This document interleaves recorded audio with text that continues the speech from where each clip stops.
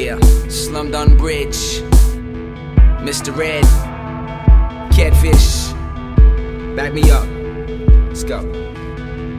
I'm out the bark again. Ball cracked on the target, demolish it.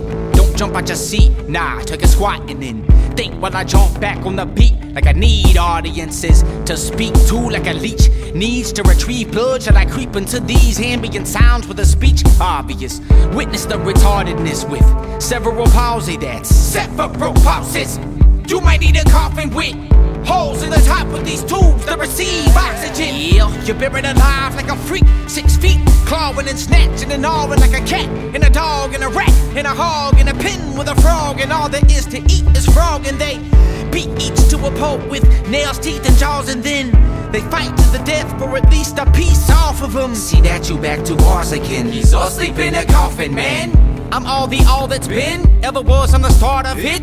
You mentioned the squad and then you mentioned the god of pins, not of men, but of harder than flesh. I'm harder than titanium breastplates that are polished thin. Sticking MCs up like a fly trap or a bobby pin. When I rap, I'm astonishing. I attack tracks like a train track strapped to a bomb and sin. Shockwaves is what I made. Got this bastard popping then. I spit on my pop's grave without apology. Take shits on shit zoos, pisses on igloos. Throw it up to the whole fucking world is sick too. Vomit and stomach fluid like you just ate shit stew. Did I say shit again?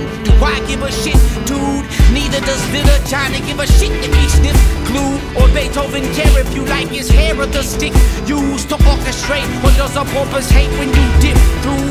Swimming in his ocean, no. He just moves. See, yes, and I, what I'm trying to say is, and I crossed it. We built the bridge, the Slumdon Bridge.